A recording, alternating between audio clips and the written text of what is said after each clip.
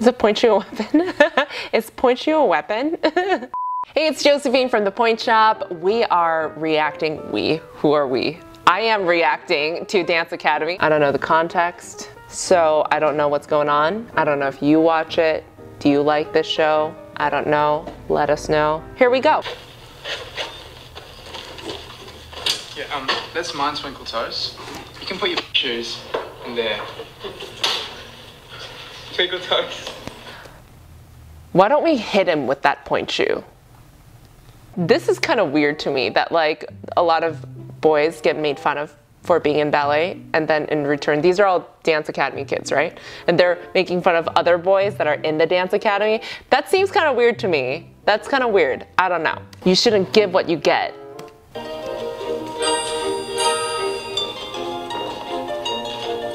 I feel like we've all done this variation every single one of us it's actually giving me anxiety to hear this i have ptsd from this song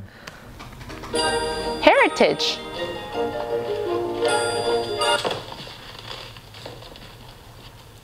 What do you think you're doing?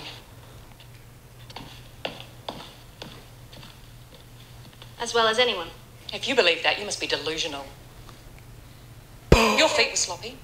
You lost your turnout and almost dislocated your knee, not to mention your ankles. There was a complete lack of coordination between your upper body and your arms. Shall I continue? But I was just trying If you're going to stand there and argue with me, or worse still, cry. Oh. You can get out of my class. Right now!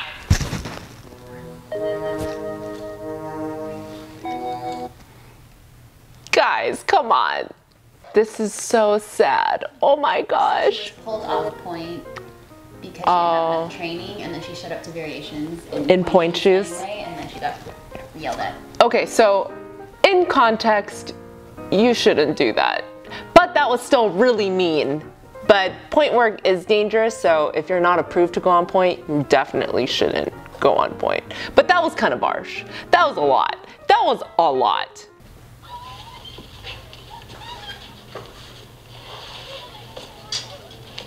Tara's such a sweetie. I really do feel for her.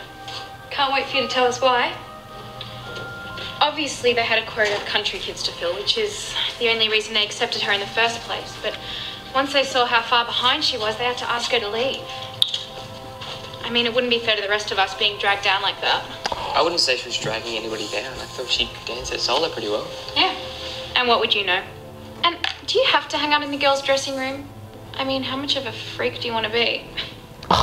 Okay, no one's actually this mean. That is horrible. This is so dramatized. I feel like this is like so much. Abigail, my mum taught me that if you can't say anything nice, don't say anything at all. Tara, I thought you'd be packing. Why? I'm not going anywhere. One bad class. You don't honestly think that'd be enough to make me quit? Well, if you're not leaving, I'll be making an official complaint. I don't see why my training needs to be compromised by some country hick who smells like a sheep and thinks she has.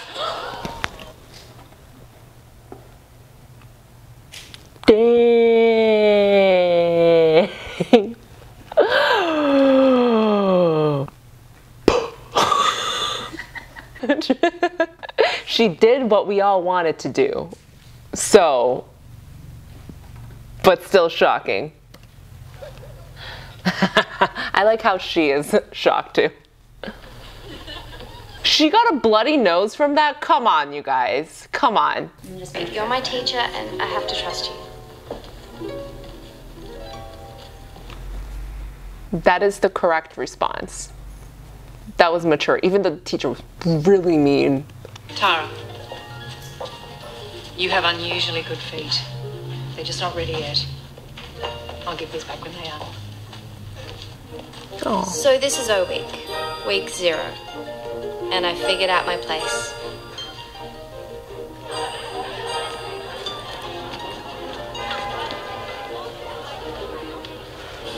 The thing about being at the bottom is there's nowhere else to go but up. Oh, that was actually kind of sweet. I like how that ended and wrapped up. I never watched the show, so I don't know what the context is, but I think that was actually a pretty uplifting, good message. That's very sweet. I don't know, I like it. Have you guys seen it? Let us know.